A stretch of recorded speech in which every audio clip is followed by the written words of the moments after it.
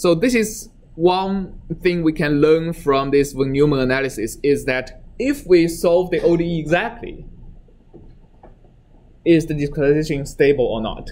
Here the answer is yes. The discretization is stable if I can solve the ODE exactly. The second question, which is now less trivial for this particular equation, is that what kind of ODE solver do we need to use for the solution to be stable? Right? Remember last time we used uh, explicit Euler time integration and the solution turns out to be unstable unless you use a very small delta t, right? The answer for why we have to use a very small time step and why explicit schemes are not a very good choice for this equation can also be seen from exactly this factor from the von Neumann stability analysis. So uh, how many people have studied numerical methods for integrating ODEs? Over half. Okay, so let me have a very quick review of, of that. So if you are solving uh, ODE du dt equal to A of u, so A is just uh, any arbitrary matrix what determines the behavior of a particular ODE solver are two things. Okay, two things, two factors decides the stability property of ODE solver. Okay, uh, the number one is the eigenvalues of A. So where are the eigenvalues of A lies. All right.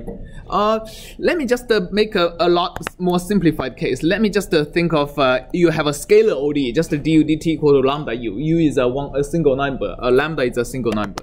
So so one is the value is actually the value of lambda, not even the, uh, the, the, the okay. One is the value of lambda times the delta t, where delta t is the time step size you are using. So lambda times delta t is the first value you should look at in looking at the stability. And 2 is the stability region of the ODE solver. Okay, so stability region is a region in the complex plane. And the complex plane is the complex plane for lambda times delta t.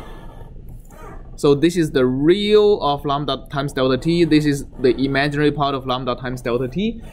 And for example, forward Euler is stable in this region. So this region is the region for which forward Euler is stable. Okay. And uh, as another example, what is the region for which an exact ODE solver, let's say we have an imaginary ODE solver that is exactly solves the equation. Where is the region where the exact ODE solver is stable? Huh? The left part of the entire complex plane, exactly. So the whole left plane would be uh, the, the, the stability region of an exact solver.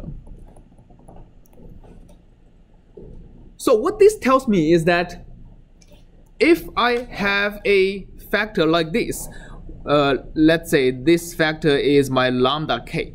So this factor is my lambda k. What I'm actually solving is du. Uh, so if I if I if my u hat is a sinusoidal function of wave number k, what I'm solving is du hat of i dt is equal to lambda k times u hat of i, right? So because if we substitute this into that equation, we get, uh, or, or that equation, it doesn't matter. Uh, what we get is uh, du hat of i dt equal to lambda k times u hat of i. So we have exactly this kind of uh, uh, ODE to solve and uh, the stability region is going to be determined by this particular lambda k times delta t. And this particular uh, this particular lambda k is equal to 2 times cosine k minus 1 divided by delta x squared times delta t. Where k goes from minus n over 2 to n over 2 minus 1. So that's the range of the discrete Fourier series.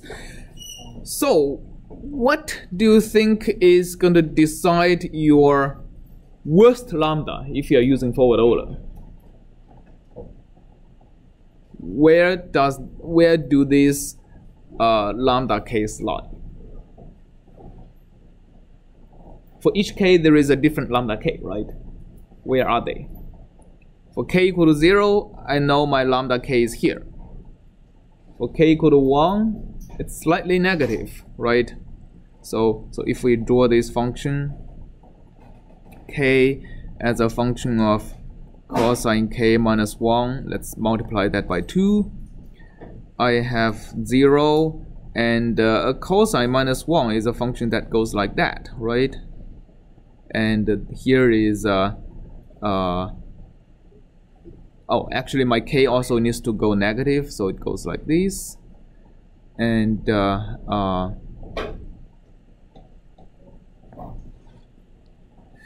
do, do, do.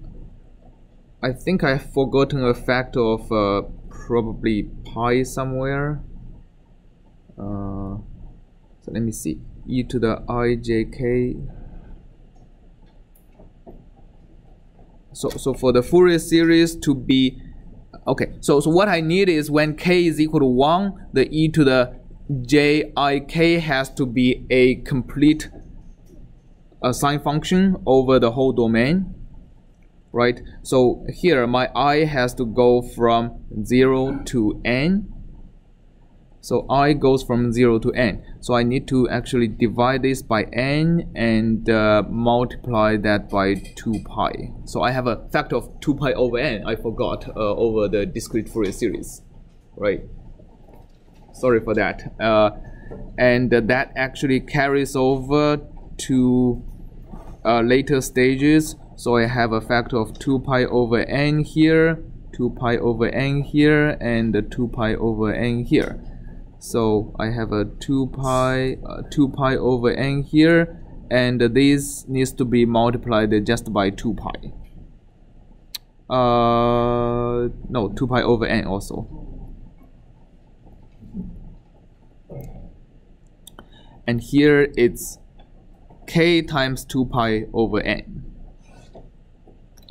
And uh, what else? Uh, here is k times 2 pi over n Anything else I'm missing? This 2 pi over n factor? Right. Okay. So here, k times 2 pi over n minus 1. Alright. Okay. Um, let's look at this factor of uh, 2 times cosine k times 2 pi over n minus 1. So as k go from minus n over 2 to n over 2, what happens is that, uh, uh, let me see what this, if k goes to n over 2, then we have a cosine of pi, right? So the n cancels with the n here, the 2 would cancel with the 2 in the 2 pi. We get a cosine of pi. That is going to be minus 1 and uh, we have minus 2. So, so this goes all the way to minus 4. And it also goes all the, all the way to minus 4 uh, over negative of n over 2 because cosine is a uh, even function. Right. So what we have is for the bigger case, the value lambda k is going to be successively more negative lying in this complex domain. And whether the for the for the worst k which is equal to minus n over 2 is the lambda k going lambda k times delta t going to go beyond the stability region of forward Euler? Is going to be decided by oh by the way for forward Euler the stability region is centered at minus one and the limit is at minus two. So the the criterion is whether this lambda k times delta t, which have a, a most negative value of minus 4 times delta t over delta x squared. So minus 4 times delta t over delta x squared. Is this going to be less than minus 2 or not? If it is actually less, we have an unstable scheme if it is if for every k the lambda k times delta t is within the stability region of forward Euler, then we have a stable scheme. Okay, or if we write it again, the criterion is if we divide both sides by minus 4 and uh, the inequality is reversed, uh, is actually right. Uh, so so the instability criterion uh, would be in unstable. So, so if this point exceeds minus 2, it'll be unstable. So the instability criterion is delta t over delta x greater than half or delta t has to be uh, so so this would be unstable right so if I want the scheme to be stable delta t has to be less or equal to half of delta x square. Does it have to be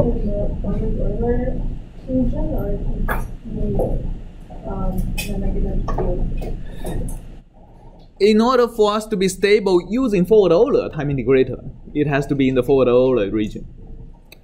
In order for this exact ODE solver to be stable, we can be anywhere in the negative side.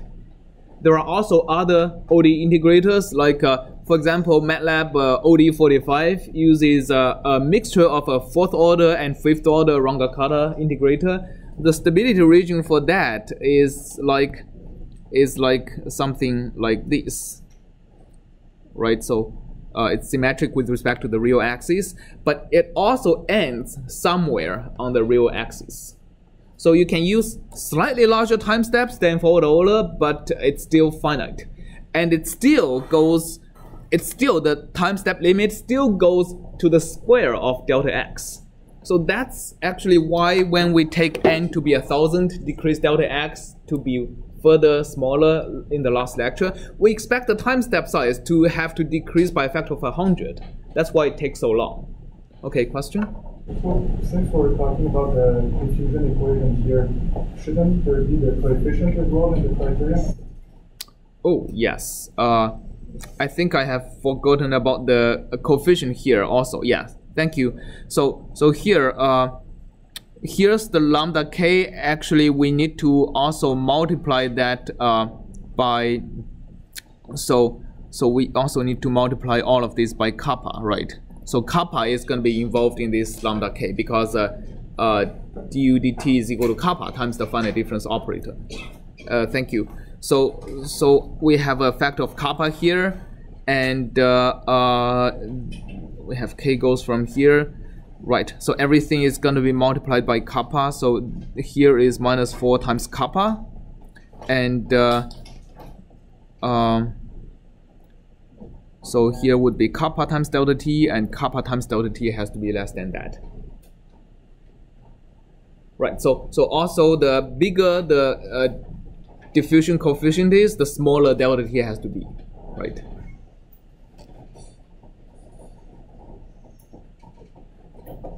Yeah, any, any other questions about this? So going through the von Neumann stability analysis, one is going to tell us if the spatial discretization is unstable or is stable, right? So if just the spatial discretization gives you unstable solution, that means even if your ODE integrator, even if your time discretization is exact, you will have an unstable solution. Now the second uh, thing it informs you is that what kind of time integrator should you choose and what is the time step size limit.